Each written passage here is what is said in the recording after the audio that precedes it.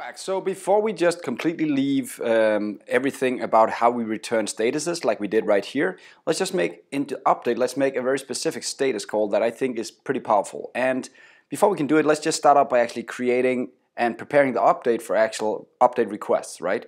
So the update is the put. That's the put request when you need to update information. That's at least what we expect in our REST API. So a put request will send in an ID like I just showed you guys before, and that will be passed right here.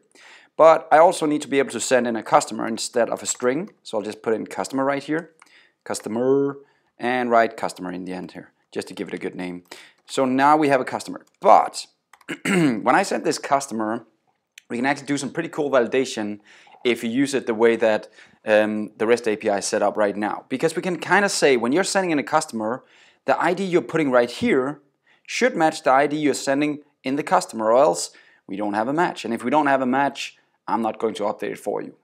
So it's, it's kind of a, a, a simple validation that we can do, just making sure before we do any updates, we just want to match the ID of the actual customer with the ID of, um, of the send in ID in the parameter. So let me show you what I mean right here.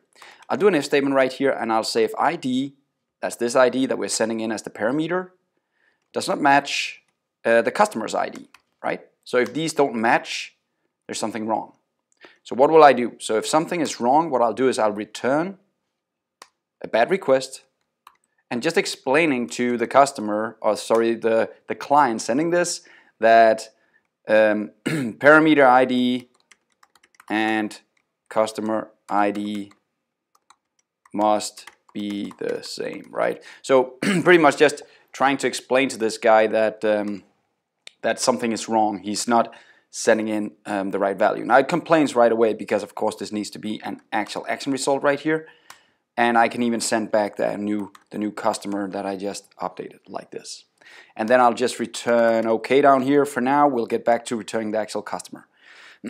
so there we go. That's, that's all we have to do. Now we can actually get information if the ID is actually okay. Now I want to make one more validation.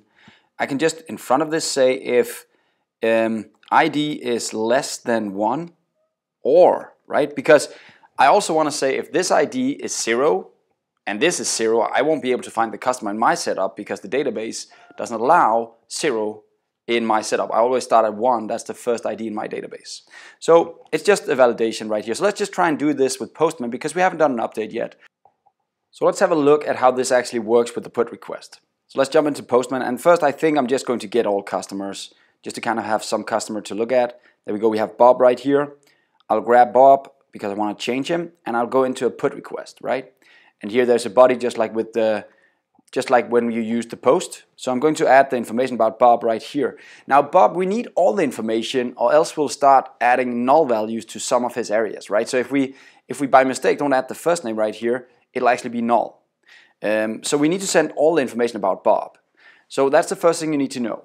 You also need to consider that this would be a UI somehow, and if you saw this as a UI, it would be maybe it would have a first name field, that would be Bob, you could change, last name you could change Dylan, right? So you would have all the information in the UI that you were able to change, if that makes sense for you. And the last thing you want to do is kind of change something, right? So I changed this into Bingo Street instead of Bongo Street. And now the final thing, a put request, if we look at our code, a put request needs to get an ID as the final parameter, right? So we're going to add that by putting in a front slash and then the ID up here to our customer. Now let's just put in one for this, this first test right here and try and send.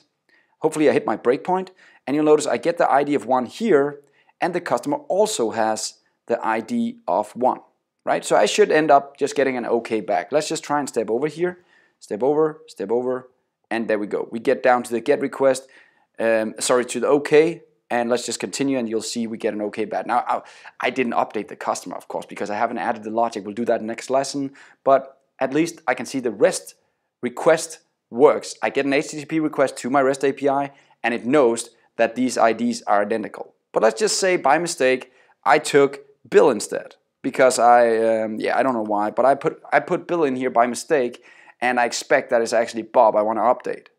So these IDs don't match now. Let's try and send again. And let's just step over.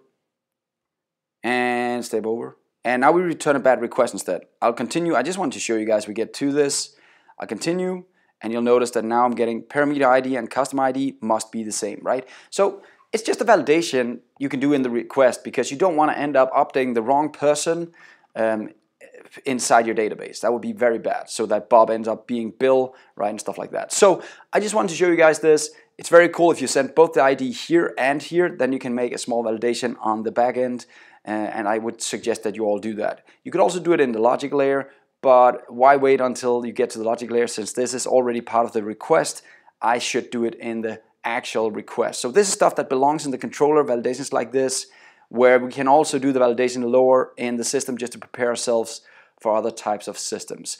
I'll end the video here and next time we'll try and make this work actually so we actually do update our beautiful uh, customer right here. See you next time. Have fun.